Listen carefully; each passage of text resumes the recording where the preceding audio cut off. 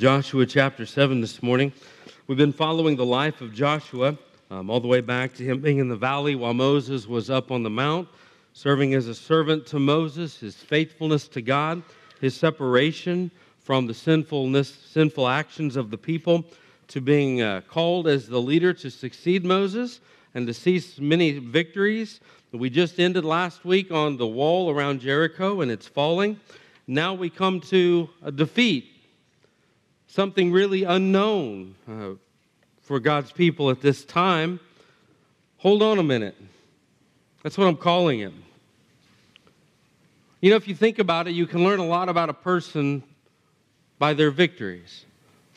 How do they handle the winds of life? But I think you can maybe able to learn more about a person not in how they handle the winds of life, but how do they handle the defeats of life? How do they handle losing? How do they handle loss? Is it uh, in humility? Is it a teachable moment? Is it what what what do we learn about ourselves in the moments of loss? Or and I want you to see Joshua does something I think is a great model for us. In chapter 6 as God's people are getting ready to go in and uh, go through the wall, the rubbled walls of Jericho as they fall, and they're going to go in and, and, and, and destroy the inhabitants of Jericho, minus Rahab, the prostitute. They're going to, they're warned by God in chapter 6, verse 17 through 19, that they are not allowed to take any of the Babylonian goods. That if they find any of the treasures, that those treasures are to be devoted to the Lord. They're the Lord's. They're to go into the treasury of the Lord. They're not yours, he says, they're God's.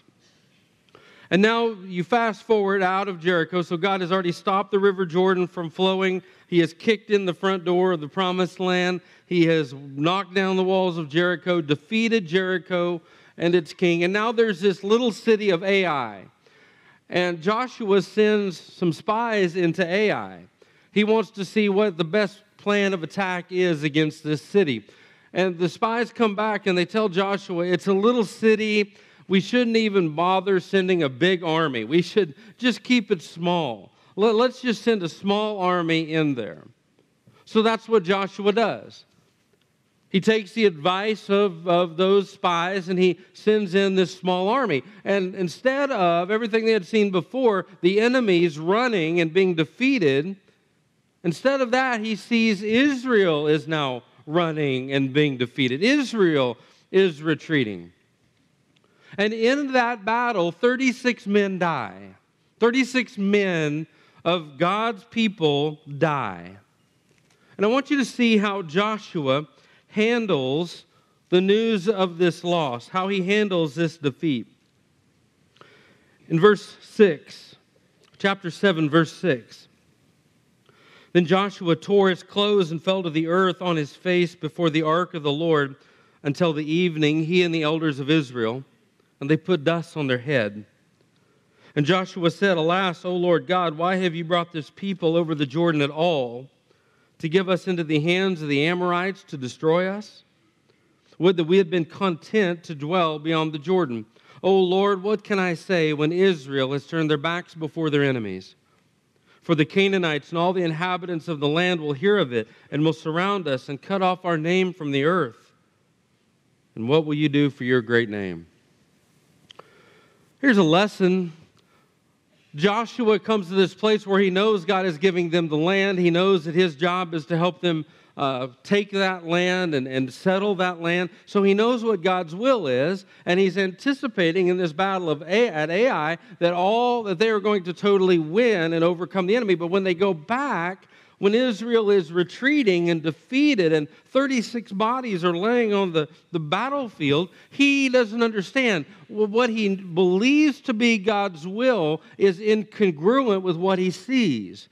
God, you promised to give us this land. You promised to drive out our enemies. I don't understand why Israel is now turning and running. I don't understand this defeat. So, what does he do? He humbles himself. He falls on his face before the Lord, covers himself with dust, ashes, as a sign of humility. He tears his clothes. This is a sign of being totally broken before God. He does this all before the Ark of the Covenant. He is drawing as close as he possibly can to God, and he's not afraid to ask God the hard questions. God, I don't understand. God, why is this happening? He believed that God was big enough to answer his questions. So he humbles himself, he falls down, he seeks the presence of God, he is asking God those questions. These are all lessons that we need to be able to do as well. We ought to be able to practice this in our own life. When, when things seem to be incongruent in God's will, seek God, humble ourselves, position ourselves in such a way so that we could hear from God. We're listening for the answer. We're not just talking, we want to hear the answer to our question. And here's what God says Verse 10 The Lord said to Joshua, Get up. Why have you fallen on your face? That's not the answer I would have expected, right? Get up, Joshua. God gives him the answer. Israel has sinned. They've transgressed my covenant that I commanded them. They've taken some of the devoted things. They have stolen and lied and put them among their own belongings. Therefore, the people of Israel cannot stand before their enemies. They turn their backs before their enemies because they have become devoted for destruction. I will be with you no more unless you destroy the devoted things from among you. Wow. Why'd you, why did this happen, God? What's going on? God said, Here's the problem. My people have sinned. There's sin in the camp. Remember, I told you last week that, or two weeks ago, that when they had crossed the River Jordan, the Bible tells us that all the enemies of God's people, their hearts were melting. They were terrified. I mean, they saw what God was doing through the people. They knew where they were going, and they understood they're next on the list. So they're terrified. The inhabitants of Jericho are petrified of the Israelites. And when they cross the River Jordan, that seems like that would have been the best time militarily to strike while the iron's hot. I mean, your enemies are already afraid. You might as well just jump, skip across the River Jordan, and just run into the promised land and expel everybody. I mean, do the work.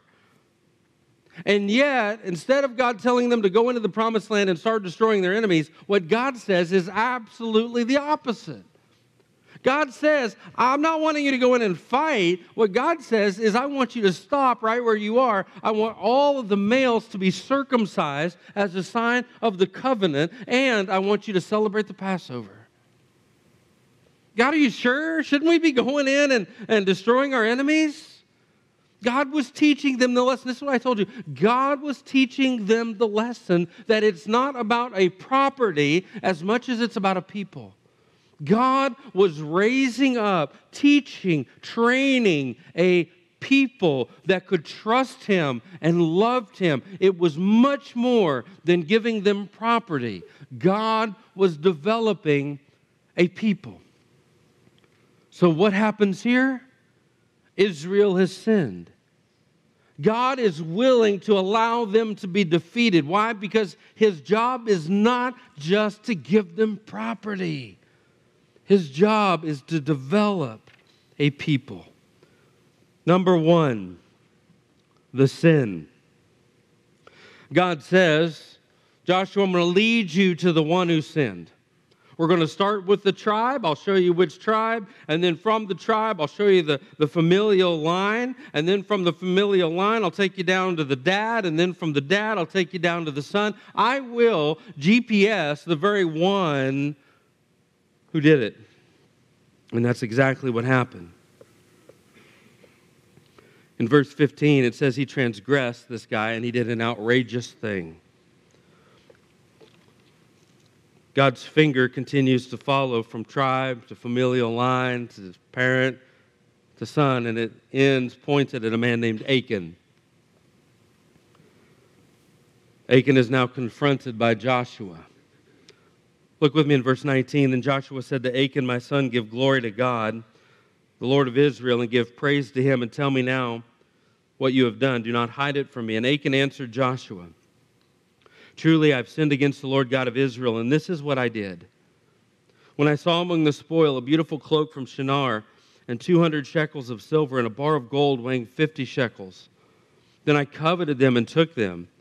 And see, they're hidden in the earth inside my tent with the silver underneath. That's important, with the silver underneath. So Joshua sent messengers, and they ran to the tent, and behold, it was hidden in his tent with the silver underneath. And they took them out of the tent and brought them to Joshua to tell all the people of Israel. And they laid them down before the Lord. And Joshua, with all of Israel, took Achan the son of Zerah, and the silver and the cloak and the bar of gold, and his sons and daughters, and his oxen and his donkeys and his sheep, and his tent, and his PlayStation, and his Xbox, and all that he had. And they brought them up to the valley of Achor. And Joshua said, Why did you bring trouble on us? The Lord brings trouble on you today. And all Israel stoned him with stones. They burned them with fire and stoned them with stones. And they raised over him a great heap of stones that remains to this day. Then the Lord turned from his burning anger. Therefore, to this day, the name of that place is called the Valley of Trouble. Let's look at the sin. He describes the sin himself. Once he's confronted with the sin and he realizes he is the man, God has led them right to him. There he is, standing exposed. Joshua says, Achan, tell me everything you did. And you know what? Achan does. He takes them back to that moment when the walls fell and he's climbing over the rubble. And as he's going through Jericho to overcome the enemies, he sees some gold, silver, and a beautiful cloak. And he grabs a hold of it, probably much like the other men had done, but instead of taking it to the treasury of the Lord, he takes it back to his tent, he digs a hole, and he buries it. And he tells them why he did it. He says he coveted. He wanted something that was not his. Now, I know this morning we we can probably fill in with the word sin that I'm talking about. We can probably fill in a particular sin in our life. We may fill in the sin of lust or greed or envy or pride or deceitfulness. In our own minds, we may fill that in and give that name, that, that, that sin, an actual name, which we should. And for Achan, that sin was coveting. It eventually led to lying, God said. And then it led to hiding the sin. I want you to think about something for a moment. This was not just a moment, this was not just a sin that was a momentary slip. This was not just something where the equivalent of him saying something he shouldn't have in the heat of the moment. This is not the result of an impulsive moment of sin. No doubt the original temptation would have been impulsive. It would have happened quickly. He saw it, he had a moment, he grabs it, and he takes it home. But notice this. You could say that Achan was literally living in sin. He knew what he had done. He knew he was trying to hide it. He presumed that God wouldn't care. He presumed that he wouldn't get caught. He presumed that it was all going to be okay, all the while living deceitfully. This was something that he was currently living in sin. Again, this was not a slip of the moment. This was something that he was practicing and protecting. He does something He had no intentions of repenting. You know, I said that, that that's pretty interesting that it says that the silver was underneath. Twice it's mentioned. Once is Achan saying, The gold and the cloak are buried under my tent, and the silver is buried underneath. And when Joshua sends the men to go find it, they go to his tent, they dig a hole, they find the cloak and the gold and the silver underneath. Why in the world would the Bible describe silver underneath? Maybe a better question is why in the world would Achan hide the silver underneath the gold and the cloak? And I don't know. But I surmise that what he was doing was protecting himself. You see, he took the cloak and the gold and buried it on top of the silver. So he buried it in a hole, but below that hole, he buried the silver. So when he dug the hole, he would have dug the silver, put the silver down, covered up the silver, and then in the rest of the hole, he would have put the gold in the cloak. Why would he put the silver underneath the gold in the cloak? I think, I'm speculating, but I think he put it underneath because if somebody was to find that, they're going to find and they're going to pull out the cloak, right? And they're going to pull the gold out of the hole. And they're going to walk away thinking they got it all. While in reality, there's silver down lower. He left some up high, possibly so they wouldn't find the rest that was buried down low. Isn't that a reflection of our heart? Don't we keep all, don't we keep some stuff down lower? We'll speak about sin on the periphery. You ask me how it's going. If I'm in an accountability group, I'll talk to you about sin out here, the, the, the stuff that's buried kind of shallow. But I don't want to talk about the stuff that's buried real deep. I'll let you go down so far. I might even let God go down so far. But you know what? I really don't want to talk about what's buried down deep. I'll let you get some treasure up here. I'll talk about this. I'll use peripheral words. To Achan's credit, when he's confronted, he says, Yeah, there's gold and there's a cloak, but keep digging. When you get to those, no, you haven't hit the bottom yet.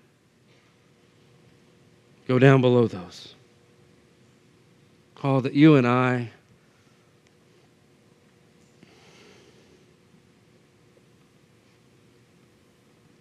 I know we're talking about him stealing something, but let me tell you what Achan really did. He took something that was God's and made it his. When we say it like that, it may provide a new dimension on this sin. He didn't just steal, he took something that was God's and made it his. In Malachi chapter 3, God sends the prophet to his people to send some very stern warnings to them. And you know what God says through the prophet Malachi? He says to the people of Israel, How long will you rob God?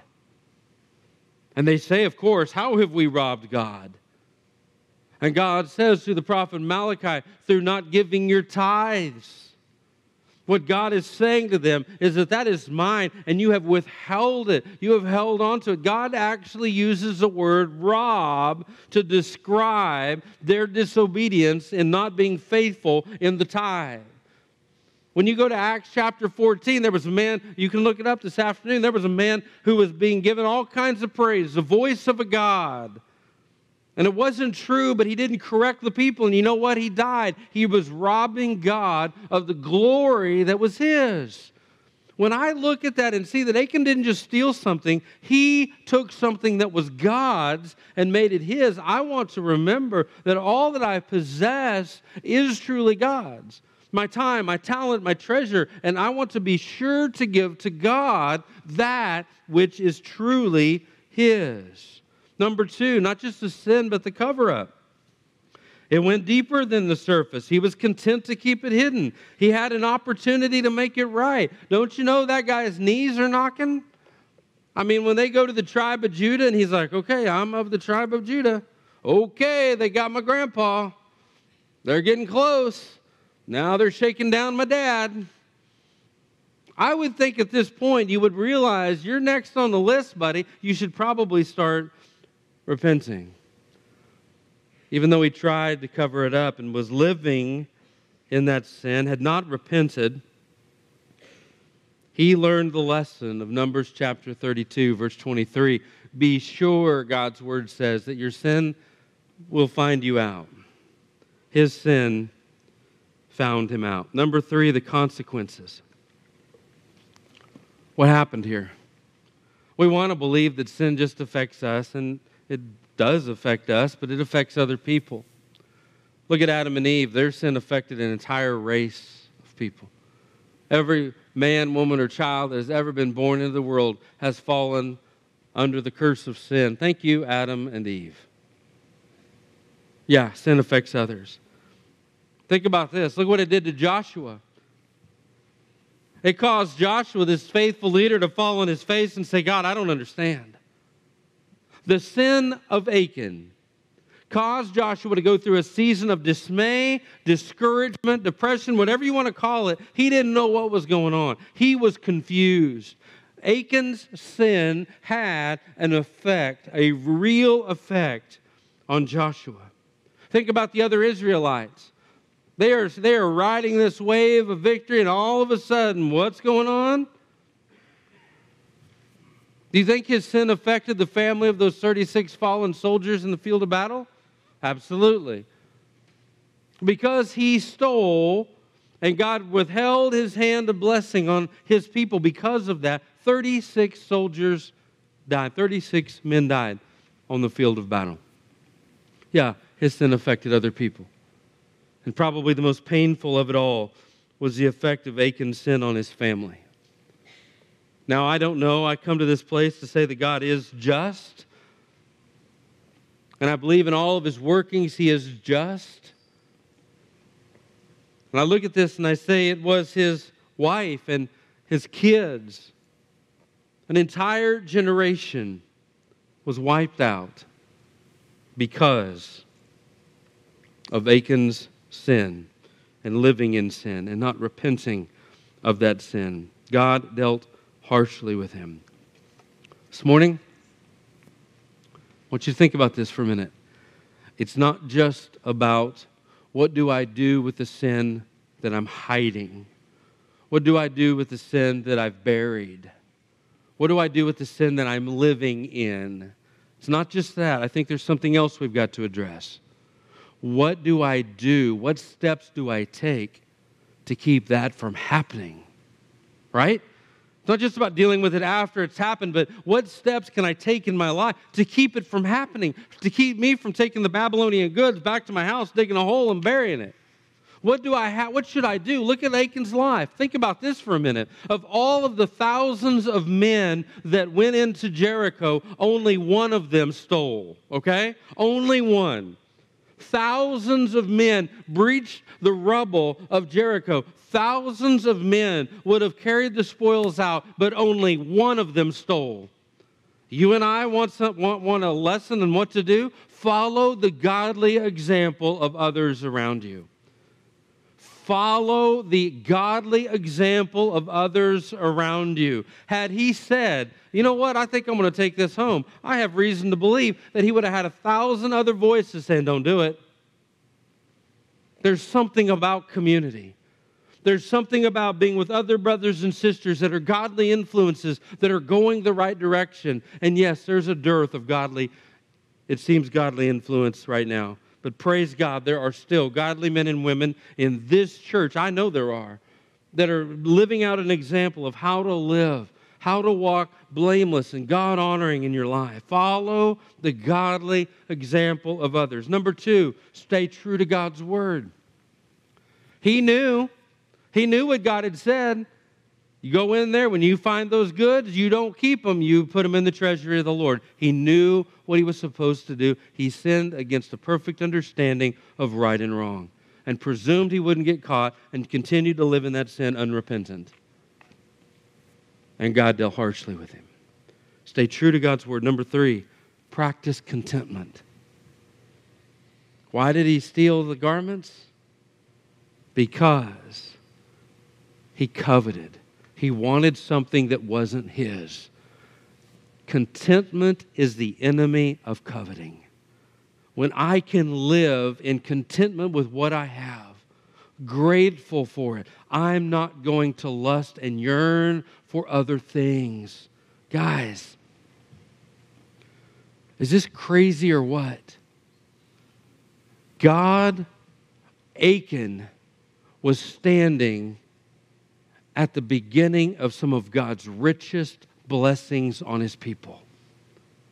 God had already told them, I'm taking you into a land that's going to have gardens you didn't have to plant, that's going to have wells you didn't have to dig, that's going to give you houses you didn't have to build. Here, Achan is standing literally in the place of promise where he was going to get a whole new life, all of these possessions free, and yet he wanted a coat. And yet he wanted gold and silver. He was not content with all that God had given him. You heard me say this quote a while back. John Owen temptations and occasions put nothing into a man, but only draw out from him what is already there. Achan was caught in this place where he was wanting more, and there is the Babylonian goods. So, what does he do? Because he already wants it, he yields to that temptation. Follow the godly example of others in your life. Stay true to the word of God that you know to be true. And number three, practice contentment. Here's the crazy thing consider where this happens. Oh, I love this. I want to end with this. Just before the defeat at Ai, what happens? God gives the victory at Jericho, right? Everybody in Jericho died except one family. One family. The family was a prostitute who believed God was who he said he was and asked for mercy to be saved from the destruction and the doom of Jericho. That one family who should have been doomed lived because she asked for mercy. The one family that should have been blessed was destroyed because of egregious, outrageous, unrepented sin. One who was not in the family was brought into the family. One who was in the family was destroyed. God is not a respecter of persons. Now, it is true if you're a child of God, there is therefore now no condemnation to those who are in Christ Jesus. Praise God for that. But God does love us, and because He loves us, He disciplines us. I'm thankful that God showed mercy and received a repentant Gentile prostitute and left us with this reminder. Whoever conceals his transgressions will not prosper, Proverbs 28 13. But he who confesses and forsakes them will obtain mercy. Can I end with this? You want to see how beautiful the gospel is? In the Old Testament, the one who sinned, they took him outside of the camp and they stoned him with stones. 2,000 years ago, the one who didn't sin was taken outside of the camp and was crucified for you and I. The one who didn't do wrong paid for the ones who did do wrong. That's the gospel. The ones who stole received pardon because of the sacrifice, the perfect, complete sacrifice of the Lamb of God, Jesus Christ. Instead of us dying for our sins, Jesus dies in our place, taking our sins upon himself, becoming our sacrifice. Friends, are you like Rahab today? You realize you have sinned and that sin has separated you from God, but today you have heard the same God who received a prostitute who begged for mercy was received. And today you know that it doesn't matter what you've done or how many times you've done it. God still stands ready and willing right now to forgive you of your sins and to call you his own through the blood of Jesus Christ. Maybe you're here and you're a believer. And maybe there's the gold and the cloak, and then down here there's the silver. Would you be real with God this morning? Maybe going to a place that you don't like to go with God. Go all the way to the bottom. If you're living right now in unrepented sin, would you call out to the Lord? Say, God, thank you that you forgive me. Thank you, God, that you restore me. Thank you, God, that you know about this and you still love me. Would you be willing to ask God to help you overcome? Would you use the godly example of others, hold true to the Word of God, and practice contentment so you don't get in that mess again? Would you and I do business with God this morning as His Spirit leads? Salvation, baptism, rededication, church membership, whatever that decision is, I pray that we would make it all to the glory and in obedience of God. Father, I pray this morning that your Spirit will help us flesh out these truths in our life. Father, thank you for the freedom that we can have in you. Thank you for the long suffering and the forgiveness that you offer and extend to your children. Thank you for the promise that it's not just about a place, but you're making a people who love you. In Jesus' name, amen. Hey, thanks so much for listening to our podcast at First Baptist Joplin. If you are interested in coming and worshiping with us live, we would love for you to come at 9 and 10:30 on Sunday mornings.